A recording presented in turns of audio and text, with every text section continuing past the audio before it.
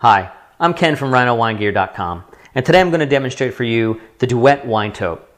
The Duet Wine Tote is a two-bottle insulated wine carrier featuring adjustable shoulder strap and handle on top, giving you two convenient ways to carry your wine. When you open the Duet Wine Tote, it reveals two compartments that are insulated, allowing you to place your wine into the wine carrier conveniently and easily.